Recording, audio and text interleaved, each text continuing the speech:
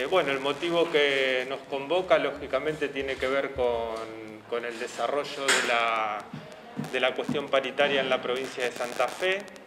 Eh, en este sentido, me parece que en primer lugar eh, lo que hay que decir es que el gobierno ratifica en todos sus términos la propuesta paritaria hecha al sector docente y también la que se formuló oportunamente al sector de la administración central, es decir, a los gremios de UPCN y ATE. Fue una propuesta construida durante todo el mes de febrero. Eh, recuerdo que una de las cuestiones que,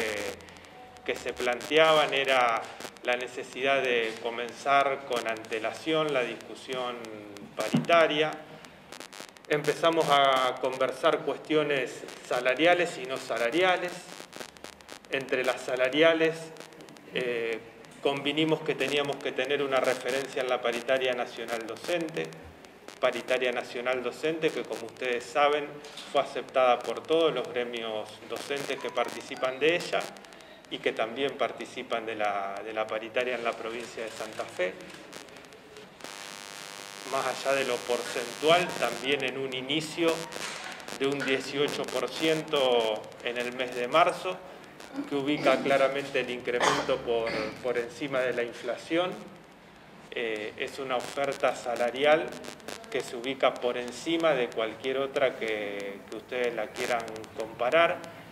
y posiciona el salario docente de la provincia de Santa Fe, en este caso, como uno de los mejores salarios de la, República Argentina,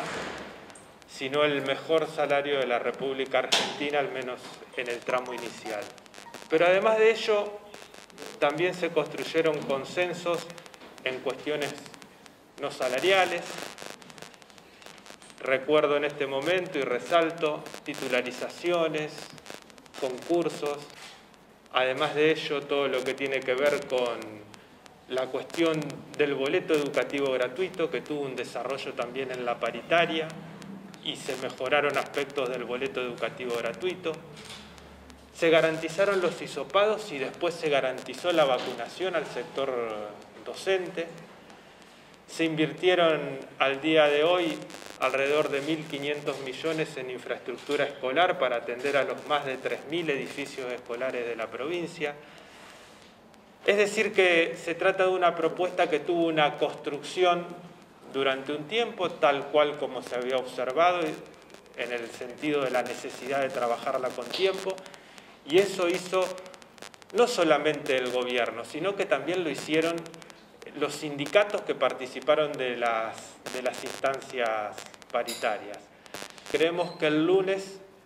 un buen número de docentes va a dar inicio al ciclo escolar.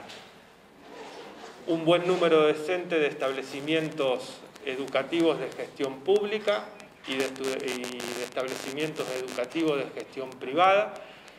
Y en ese sentido acompañamos lo que nos parece que es eh, la voluntad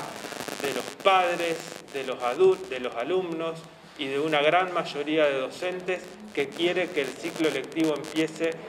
en forma presencial. La entidad sindical que acepta la propuesta va a ser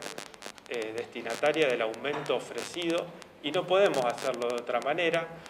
porque trabajamos en esto en función de la construcción de acuerdos, de manera tal que en el caso tanto de SADOP como de UPCN y ATE, en la medida que las propuestas sean aceptadas, se va a liquidar el aumento de sueldo.